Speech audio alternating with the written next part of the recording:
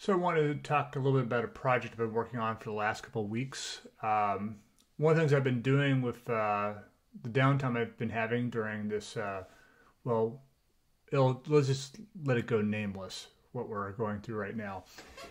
But uh, one of the things I've done to try to keep myself occupied is um, started uh, building guitars in my spare time.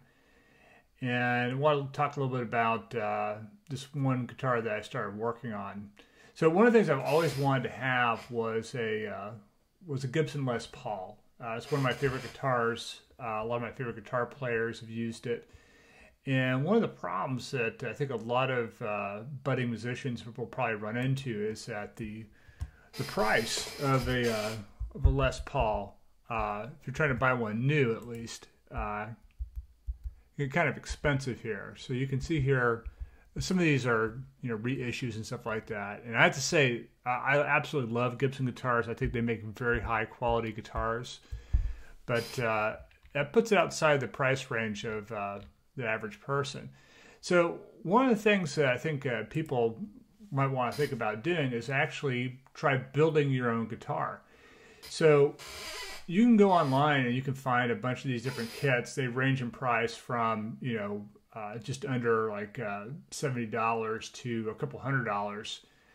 Uh, and I actually found a kit for around uh, 140 150 dollars. $150 uh, that is essentially it's a it's a good it's a Les Paul style guitar kit and uh, I actually went to uh, a company called uh, Bargain Musician and they have these different kits here that you can you can buy and uh, one of the things uh, I thought was interesting about this was that um, when you go through the process of actually building your, your own guitar, uh, you have to do a fair amount of the work yourself when it comes to sanding and finishing that sort of stuff. And so, one of the things I did was uh, I actually took the body and uh, taped it off here, and then I used a uh, just a regular like clothing dye to darken the the, the, the front of the guitar.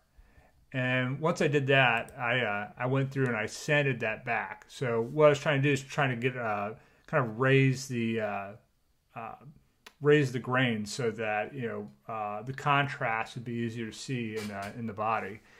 And then I went for another la- layer of dye here, where I did kind of not quite a um, a starburst or sunburst type finish, but you know something close to that. And it didn't come out the way that uh, I was hoping it would come out, but actually I think it looks pretty good the way that it did come out.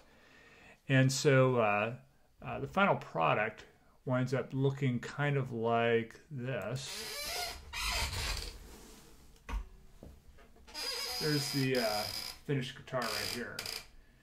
Um, and I just went through. And I did a stain. Uh, did a stain on the uh, on the neck, and then on the rest of the body, uh, and then I put a, uh, a, a, number of coats of polyurethane on the back of the neck and on the the entire guitar body.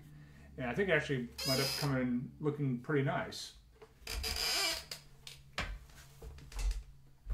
So when you buy those kits, one of the issues you're going to run into is that the uh, you know they're getting the, the electronics and a lot of the different pieces and stuff uh, uh, pretty inexpensively. And so one of the things you can do is you can actually go through and go to a website, let's say like Reverb, for example, and they have a, a all kinds of different you know pickups uh, you can buy on there, uh, just regular guitar parts and stuff like that. If you want to re- replace, it, say the potentiometers or maybe your bridge or something like that, you can go on to a website like this uh, and get that. And if you're just looking for for a kit, you can actually go into eBay and you can find a bunch of different kits here uh, for different prices. You can pretty much find anything you want. So if you're looking to buy uh, a kit that's more of a super strat or strat, or you want to build a Telecaster style guitar and stuff like that, you can find all of these on here as well.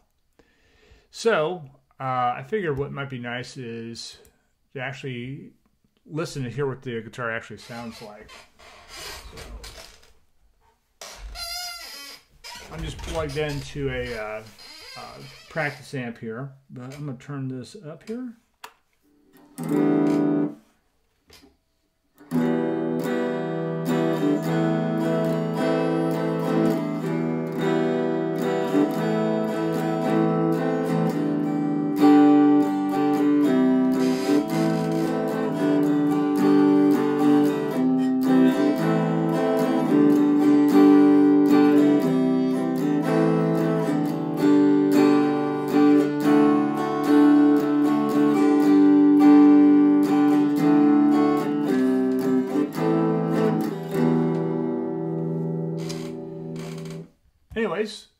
Anybody has any questions about this, please let me know. Uh, it was a fun project, and um, I think it's a good way of uh, if you're looking to get uh, a guitar like a Les Paul or maybe a Stratocaster or something like that, uh, but you don't want to spend all the money. Uh, one of the things that's good about this is that um, on top of being able to get a guitar for a lot less money, going through the process of actually building the guitar, you learn a lot more about how the guitar actually works.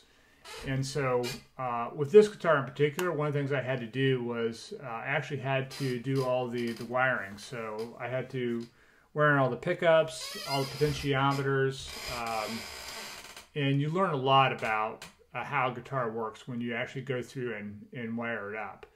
So, uh, the other thing that's nice about this is it makes it that much easier once you've built your own guitar. If you want to, let's say, upgrade a guitar you already own with uh, newer electronics and stuff like that, once you've gone through the process of building your own guitar, it makes it a lot easier to uh, to do things like upgrading the, uh, you know all the different components on the guitar.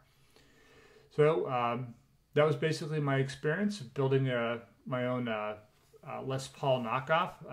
It's not an actual Les Paul. We'll just call it a, a Logan Paul since I'm on YouTube. Everybody have a nice weekend.